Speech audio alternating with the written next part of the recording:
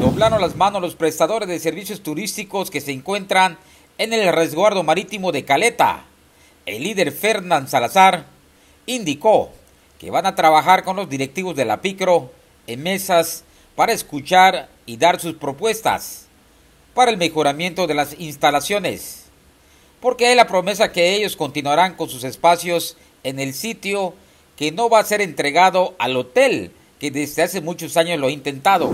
Dio la confianza de poder hacer esas mesas de trabajo y este ni nos está eh, ahorita dando también la oportunidad de ser escuchados porque nosotros ahí también tenemos esa inversión, nosotros ahí tenemos el obra menor, nosotros ahí eh, estamos trabajando hace 20 años y bueno, no creo que haya la amenaza que, que, se está, que se está este, ahorita dando, no existe la amenaza, es al contrario, ellos quieren acercarse a nosotros para que nosotros hagamos un proyecto, se los entreguemos y que a la caleta le vaya mejor. Eh, señor, en ese eh, sentido también él mencionaba que bueno va a haber inversión porque lo que se busca pues es tener una caleta eh, de calidad. Esto sería bueno también.